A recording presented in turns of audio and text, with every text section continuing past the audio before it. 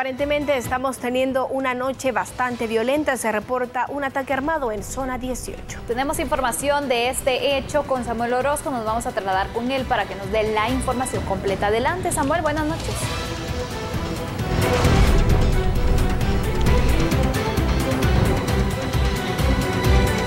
Sandra y Alejandra, televidentes de TN Todo Noticias. La información se ha generado en el sector de la zona 18 capitalina. Estamos hablando de un ataque armado que se origina en el sector de la Alameda 4. En este lugar, eh, los bomberos voluntarios han llegado, han trasladado a dos personas hacia la emergencia de un centro asistencial.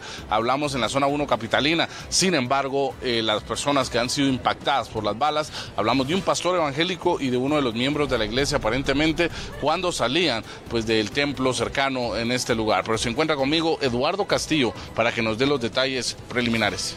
Así es, buenas noches. Varias llamadas ingresaron al número de emergencia 122 informando de un ataque armado.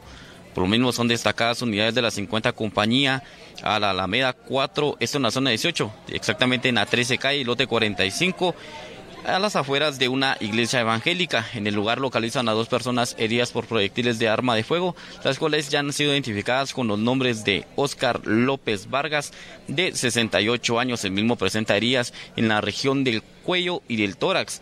La segunda persona es identificada con el nombre de Ángel Francisco Soy, de 15 años, el cual presenta heridas en la región del cuello. Esa es la información que tenemos hasta el momento. Gracias, Eduardo Castillo. Eh, de momento, pues ya investigación criminal, criminal está dándole seguimiento a este caso. No se sabe, eh, pues aquí hay una familiar quien ha indicado que desconoce realmente por qué llegaron a atacarlos. No, no tienen ninguna pista por el momento. Sin embargo, pues esto se va a ir aclarando conforme avance la investigación.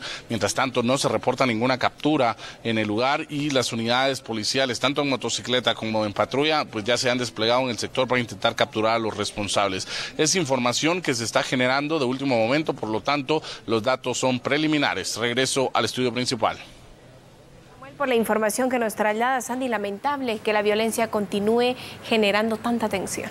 Así es, es muy triste tener que terminar esta hora informativa de esta forma, pero es parte de la realidad que vivimos en Guatemala. Concluimos con esta información y yo los espero a las 9 de la noche en A la Medida. De momento se queda con Alejandra. Ya volvemos.